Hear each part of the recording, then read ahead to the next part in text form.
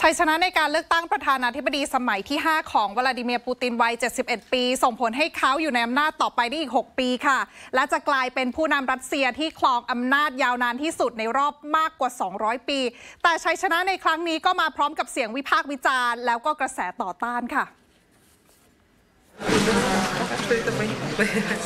ชาวกรุงมอสโกจำนวนมากนะคะ ต่อแถวรอตรวจความปลอดภัยบริเวณทางเข้าหน่วยเลือกตั้งที่อเล็กซีนาวาลนี อดีตผู้นำฝ่ายค้านที่ล่วงลับเคยมาใช้สิทธิ์ค่ะ จุดที่น่าสังเกตคุณผู้ชม คือช่วงเวลาที่คนออกมาใช้สิทธิ์เมื่อวานนี้ ซึ่งเป็นวันสุดท้ายของการเลือกตั้ง ตรงกับช่วงเวลาเที่ยงวันตามเวลาท้องถิ่นค่ะ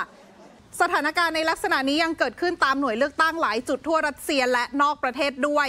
ซึ่งนี่ถือเป็นส่วนหนึ่งของกิจกรรม เชิงสัญญลักษณ์ของชาวรัสเซียทั่วโลกนะคะ เพื่อแสดงพลังต่อต้านปูตินด้วยการออกมาใช้สิทธิ์เลือกตั้งพร้อมกันในเวลาเที่ยงวัน ตามการรณรงค์ของยูเลียนาวาลนายาภรรยาของนาวานีค่ะ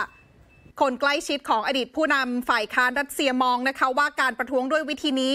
จะช่วยป้องกันไม่ให้ทางการรัสเซียใช้ข้อกฎหมายใดมาจัดการกับกลุ่มเห็นต่าง รวมทั้งยังแสดงให้เห็นด้วยค่ะว่ายังคงมีชาวรัสเซียอีกเป็นจำนวนมากที่ต่อต้านปูติน แม้ว่าการเคลื่อนไหวดังกล่าว จะไม่ได้มีผลในการเปลี่ยนแปลงชัยชนะของผู้นำรัสเซียก็ตามค่ะ ปูตินนั่งเก้าอี้รักษาการประธานาธิบดีมาตั้งแต่เมื่อปี 1999 นะคะ หลังจากบอริสเยลซินลาออกจากตำแหน่ง ก่อนที่เขาจะคว้าชัยในศึกเลือกตั้งผู้นำรัสเซียเป็นครั้งแรกในปี 2000 และอีกครั้งในอีก 4 ปีถัดมาค่ะ แต่กฎหมายรัสเซียเขาห้ามเป็นประธานาธิบดีติดต่อกันเกิน 2 สมัย ดังนั้นปูตินก็เลยถอยออกมาเป็นนาเป็นนายกรัฐมนตรีนะคะ แล้วก็ให้เดมิทรี เมดเวเดฟ คนสนิทเนี่ยขึ้นมาเป็นประธานาธิบดีแทน แต่ก็เป็นที่ทราบกันดีอยู่แล้วค่ะว่าใครคือผู้นำรัสเซียตัวจริง ก่อนที่ปูตินเองจะกลับมาทวงเก้าอี้คืนในปี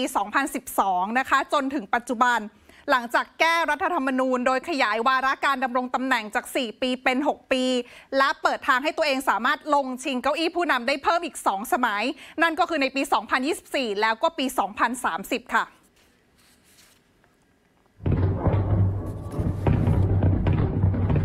เสียงปืนและเสียงระเบิดดังขึ้นต่อเนื่องนะคะ ขณะที่ในบางจุดเนี่ยเกิดเหตุเพลิงไหม้รุนแรงขึ้นด้วยค่ะ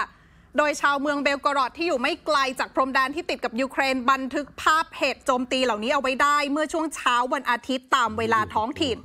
ซึ่งเหตุโจมตีในลักษณะนี้เกิดขึ้นในภูมิภาคนี้ ติดต่อกันตั้งแต่ช่วงก่อนเลือกตั้งในวันศุกร์ที่ผ่านมาค่ะ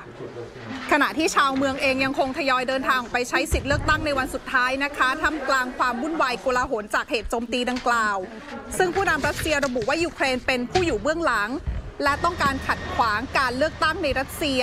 พร้อมทั้งประกาศว่ายูเครนจะต้องรับผิดชอบต่อสิ่งที่เกิดขึ้น เบลกรอดตกเป็นเป้าการโจมตีข้ามพรมแดนตั้งแต่ต้นปี 2023 ค่ะ แต่ในช่วงไม่กี่สัปดาห์ที่ผ่านมายูเครนยกระดับการโจมตีพื้นที่แถบนี้ รวมทั้งมีรายงานด้วยว่ากลุ่มติดอาวุธที่ต่อต้านปูติน และถูกกล่าวหาว่าได้รับการสนับสนุนจากยูเครนก่อเหตุบุกโจมตีรัสเซียด้วยค่ะ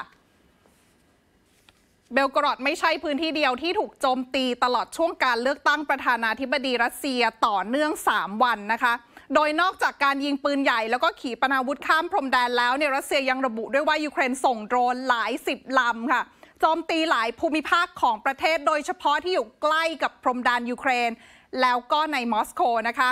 แม้ว่ารัสเซียจะระบุว่าระบบป้องกันภัยทางอากาศเนี่ยสามารถยิงสกัดการโจมตีเอาไว้ได้เป็นส่วนใหญ่ แต่ก็มีหลายพื้นที่ค่ะ ที่ถูกโจมตีได้รับความเสียหาย ซึ่งรวมถึงโรงกลั่นน้ำมัน แล้วก็ระบบโครงสร้างพื้นฐาน เช่นไฟฟ้า แล้วก็พลังงาน ขณะที่มีรายงานผู้เสียชีวิต แล้วก็ได้รับบาดเจ็บหลายคนค่ะการโจมตีของยูเครนเข้าไปในรัสเซียถูกมองว่าเป็นหนึ่งในยุทธวิธีที่จะทำให้ชาวรัสเซีย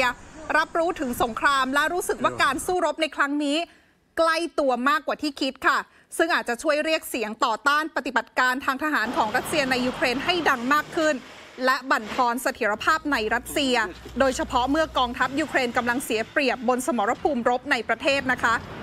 ดังนั้นตอนนี้ค่ะคำถามจึงอยู่ที่ว่ารัสเซียจะเลือกตอบโต้ยูเครนยังไง จะปรับเปลี่ยนแผนการรบในแนวหน้า หรือว่าจะเปิดแนวรบใหม่ในยูเครนหรือไม่ แต่ความเปลี่ยนแปลงใด ๆ ไม่ว่าจะเป็นทางการทหารหรือว่าการทูตอาจจะต้องรอไปจนถึงช่วงปลายปีนี้ถึงจะเริ่มชัดเจนนะคะคุณผู้ชม เนื่องจากตัวแปรสำคัญในสมการรบ ย่อมมีชื่อของผู้นำสหรัฐเข้ามาเกี่ยวข้องด้วยค่ะ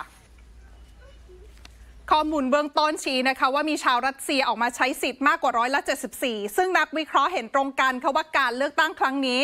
เป็นเพียงเครื่องมือกระชับอำนาจของผู้นำรัสเซีย แล้วก็เรียกเสียงสนับสนุนการทำสงครามในยูเครน คุณเจษตาคุณพรวดีคะ การเลือกตั้งผู้นำสหรัฐอเมริกาในเดือนพฤศจิกายนนี้ ทั่วโลกจับตามองอย่างใกล้ชิดจริง ๆ ค่ะ เพราะว่าส่งผลกระทบไปทั้งโลกค่ะ ค่ะ ขอบคุณค่ะ